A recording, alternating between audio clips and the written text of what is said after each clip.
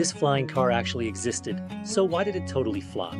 In 1949, the Aero car, designed by Moulton Taylor, was a marvel. It could drive on highways like a regular car, and then transform to take off like a real plane. It was even FAA certified and fully functional. But physics said no. Cars need to be heavy for safety, while planes need to be light for flight. The Aerocar's small, road-legal wings just couldn't create enough lift for its substantial weight. Engines back then, like the 150 horsepower Lycoming O320, didn't have the power-to-weight ratio needed to keep this hybrid safely in the air. Its service ceiling was only 12,000 feet, and certification, a nightmare.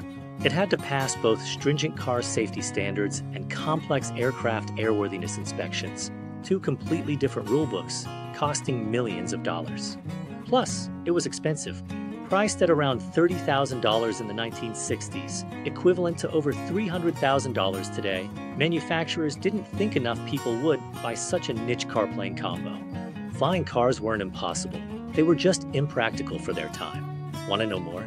Subscribe and watch the full video on the SciCurious YouTube channel. Would you fly one?